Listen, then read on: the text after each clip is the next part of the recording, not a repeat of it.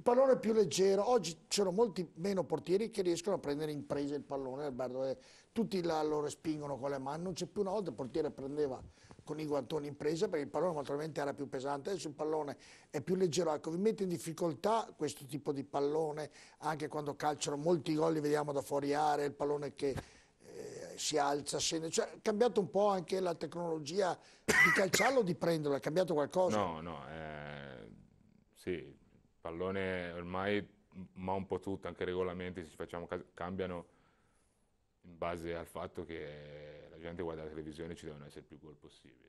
Questa è la verità, perché ce lo dicevano. Io, un attore che avevamo l'anno scorso, che era stato anche a Coverciano, le avevamo detto chiaramente, detto, oh, le regole che cambiano, cambiano in base perché la gente li 0-0 non le vuole più vedere.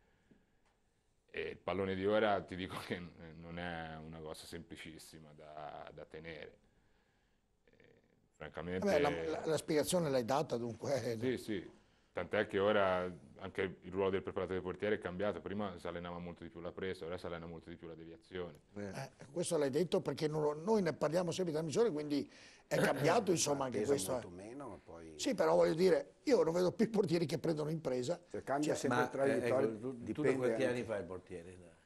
È eh, cambiato livello... da quanto? O, o, cambia ogni anno progressivamente? Eh sì. Il pallone? Sì. Eh, il pallone ogni anno, ogni è, un, è, leggermente diverso. Dipende dalle case che lo fanno.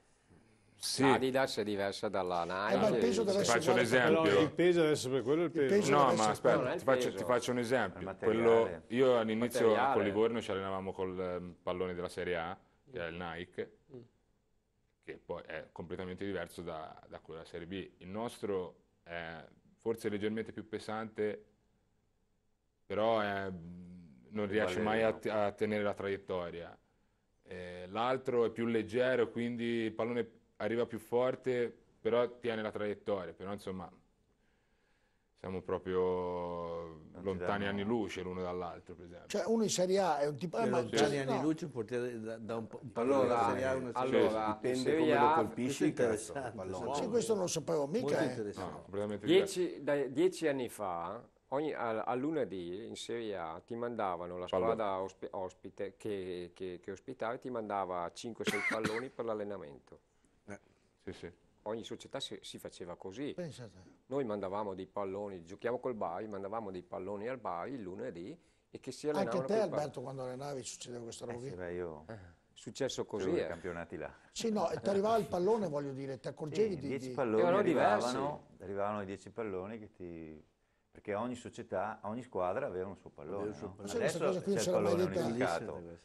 Uno aveva il pallone dell'Adidas, tutti i palloni. No, ma il fatto che dica a Luca che già eh, due mesi fa giocava a Livorno, in Serie A i palloni sono diversi dalla Serie B, mi, mi, trova spaesato, non eh, lo sapevo. È, sì, uno è un Nike, uno è un, eh, un Puma, sono proprio completamente diversi.